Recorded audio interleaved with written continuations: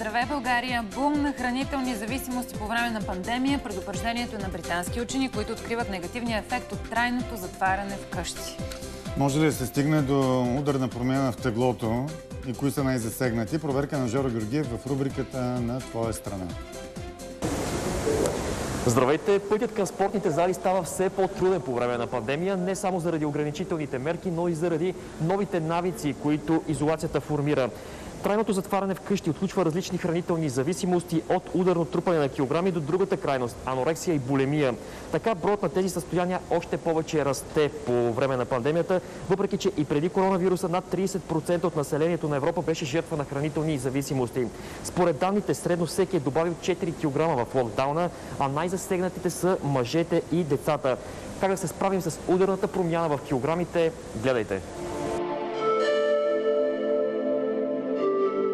Месеци изолация, стрес и затваряне. Промяната в емоциите бързо води и до промяна във всекидневните навици за Анастасия.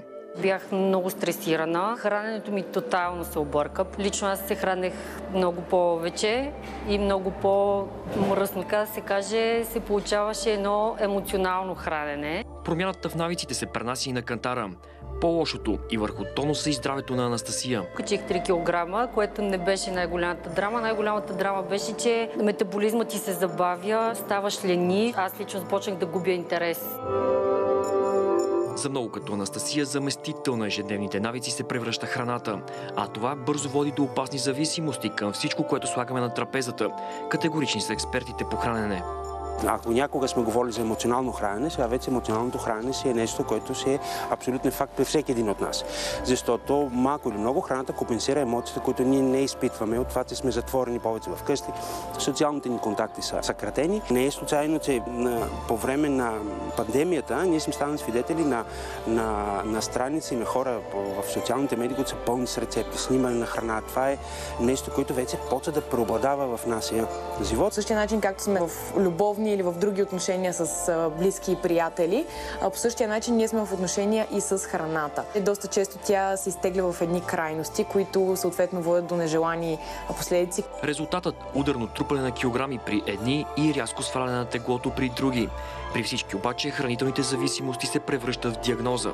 Най-уязвимите групи са по-емоционалните хора. Екстравертно а, настроени хора. Общуването и, и социалният живот е част от тяхното съществуване. Най-голямо влияние имат емоционалните промени, които а, те са претърпели. Първоначалният а, опит за контрол и регулация на храненето а, след това всъщност прераства в а, тотална загуба на контрол. И именно в, оттам произлизат и а, така наречените хранителни зависимости. Пациентите с подобни проблеми, които минават през кабинетите на диетолозите през последните месеци, стават все повече.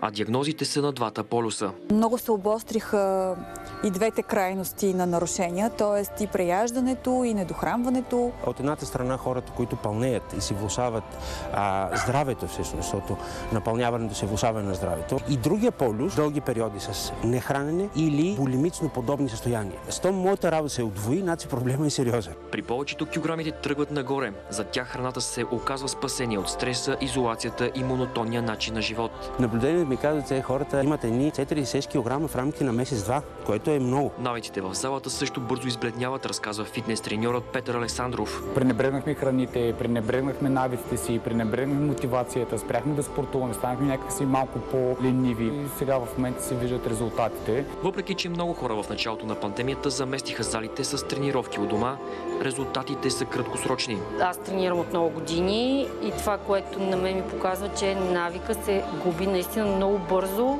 Спорта в фитнес залата, това е било и социална проява за тях. Нещо, което вкъщи го няма. Така че самия спорт в един момент се губи смисъл. Резултатите не закъсняват. Най-видимо при мъжете и децата показва проучването. Ние сме зачели между 7 и 10 кг. Освен визуално, тези килограми рефлектират и върху съединителни тъкани, върху стави, върху костна система, изцяло върху сърдечно-съдова система. Когато човек спре да се движи и остане в къщи, тялото обикновенно продължава да се храни по начина, по който се е хранил, когато се е движил. И т.е. ние вкарваме в тялото си повече калории, но не ги изразходваме чрез движението. Удар върху кантара на нас и затварянето на ресторантите, смятат експертите. Човек, седейки вкъщи, е склонен по-малко да има мярка, колко да яде. Ограничението в порцията е съвсем различно. По-малко разнообразно хранене води до по-малко задоволяване на вкусовите ми рецептори. А това много често опитам да го компенсирам с количествата. Затворени вкъщи посягаме по-често не само към храната, но и към чашката, показва проучването. Средният италянец, например, пие с 42% повече. Алкохола, също както храната, понякога е средство за успокояване, което всъщност не е така. Защото самия алкохол влушава качество на съня. 90% от тях са с влушено качество на съня. Автоматично води до забавяне на обмяната, което означава, че прави напълняването още по-лесно. И докато едни заместват любовта към близките с любов към храната по време на изолацията, при други ефектът е обратен.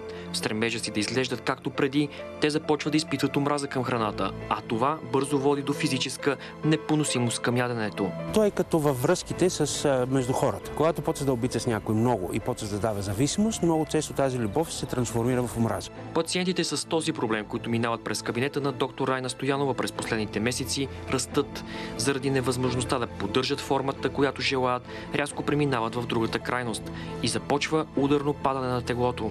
Наистина се обостриха проблемите по типа на анорексия и булимия, особено при младите хора. Хората, които са фиксирани върху храненето си, хората, които са предразположени към развитие на хранителни разстройства. Най-често в капана на тези зависимости попадат млади момичета между 16 и 18 години. Ако един човек се усети, че така може да ослава и да яде, може да му стане модел на поведение. Чисто физиологично нашето тяло страда. Става въпрос за разширяване на стомаха, дали става въпрос за хранопровода, който не е пригоден към киселините на стомаха. Твърде ниски индекс на телесната маса крие още по-голям риск от развитие на тежки компликации, включително и смърт. Близките им лесно могат да разпознават проблема. Още преди да се е задълбочил, разкриват експертите. Последователи са на известни фитнес структури, които правят онлайн тренировки и дворазово, а някои пъти трикратно дневно тренират. Изключително растително базирано се хранят и това в крайна сметка довежда до редукция на много килограми. Решението за Анастасия е едно връщане в залата. За мен е без спорта абсолютно немислимо да оцеля в тази ситуация. Преходът обаче трябва да е плавен, за да излезем от капана на зависимостите, съветва спортният психолог Владимир Новков. Да започнеш бавно и да напредваш плавно е рецепта за дългосрочна на спортна активност. Как това да се случи, ще покажем с фитнес треньорът Петър Александров. Примерно да започнат по 5, като примерно 5 клека, 5 лицеви опори, 5 коремни преси, след един час да направят по 7 и така малко по малко да възстановят физическата дейност. При избора на физическа активност всеки трябва да се концентрира върху това, което го е мотивирало да прави преди пандемията, съветват експертите. В психологията има една теория на хедонизма, че човек прави това, което му е приятно. Йога, стречинг, леко бягане навънка. Ако преди сме имали навик да ходим по пет пъти на залата сутрин рано и сега тотално сме го изключили, най-добре е да започнем три пъти в същото време, поне да отидем до залата да създадем навика на биологичен часовник да сигнализира, че ние трябва да го свършим това нещо. Ако тези правила не се спазват, всичките ни усилия могат да се върнат като бумеранг при нас. Да не нарушаваме режима си на хранене, независимо, че сме пред компютрите и затворени в къщи. Да спазваме интервалите между храненията, да избираме и подбираме благоприятно кулинарно обработени храни, да наблягаме на залатите. Препоръчва се също и консумиране на храни богати на витамин Д, като например мазни видове риба, яйчен жълтък, месо, черен дроб и субпродукти, мляко, зърнени закуски, млека за кърмачетата. Очаквам и вашите сигнали и предложения за теми. Пишете ни на фейсбук страницата и имейла на рубриката на твоя страна. А, сега благодарим на Жоро Георгиев, колеги.